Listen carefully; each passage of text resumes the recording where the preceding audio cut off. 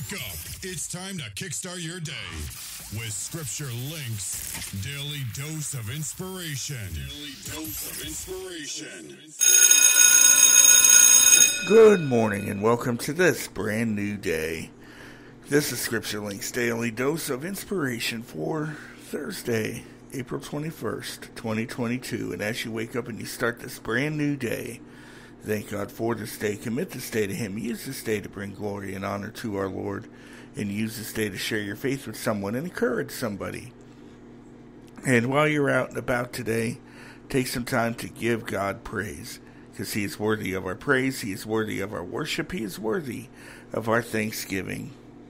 Our scripture reading today is taken from the Gospel of John, chapter number 14, and it's verse number 17. Scripture says, Even the Spirit of truth, whom the world cannot receive, because it seeth him not, neither knoweth him. But ye know him, for he dwelleth in you, and shall be in you. Friends, we're talking about the Holy Spirit here the next couple of days, and, and so far this week we've been talking on the subject of truth. And the truth is, you can find the truth in the Bible we call the Holy Bible today. We can find the truth in the words of Jesus. We can find truth in the words that, that the Spirit had had interceded and, and penned, that these men had wrote all these different books that belongs into what we call our Holy Bible today. That is the truth. And Jesus is here given some last minute instructions to the disciples. This is after Judas had, had left to go and, and get the people that was gonna gonna arrest Jesus before he betrayed Jesus. This is after the Last Supper. They're going through a, a garden on their way to where Jesus would be arrested. And he's given his disciples some last minute teaching, some things that they were going to need to go and to do the works that God had called them to do. And yesterday we started talking about some works of the Holy Spirit, and we saw in John chapter 16 and verse 13 that the Spirit is going to going to be our guide, that the Spirit is going to tell us the things that the Spirit hears from God.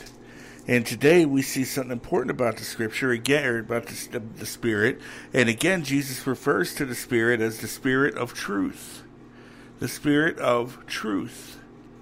That means there's no falsehoods in the spirit, there's no lies in the spirit, it's the truth. He says, Whom the world cannot receive. The world itself, referring to the world of sin or the world at large, cannot receive the Holy Spirit. Why is that? He gives us a couple of reasons here. Because it seeth him not, neither knoweth him. All right? The world cannot receive the Spirit because they can't see the Spirit. How many times have you told somebody something and they were like, yeah, I'll believe it when I see it for myself? Yeah, that's pretty much the way the world is. We talk about having the Holy Spirit abiding in us, and people that don't understand God, that don't understand the Trinity, that don't understand Christianity, has has trouble understanding how we could have the Spirit living in us. And so, therefore, since they can't see it, or since they don't know who the Holy Spirit is, they can't receive it. But Jesus says, But you know him, for he dwelleth in you and shall be in you. We know the Spirit because the Spirit dwells in us. We can sense the Spirit. When we're at church and we're having a real good worship session or a real good message from God, you can sense the Spirit, you can feel the Spirit there, and you know it's the Spirit. It can't be anything else. You know it's the Spirit. Sometimes when I'm driving along, I have a 30 minute drive to work each day, to and from work. So an hour I'm on the road each day.